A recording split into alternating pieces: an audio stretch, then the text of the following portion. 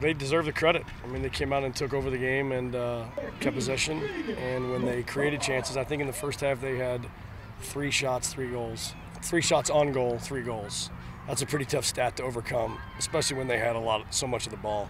So they've got the ball and a three-goal lead, and now we're chasing the game. And then every time they get into a good sequence, they're just chewing up clock. They don't have to score anymore, um, and it put our young team in a odd position that they're not used to. And um, you know, some of our better players that have been really leading us to this point struggled with it and uh, didn't really play to the standard they've played at thus far.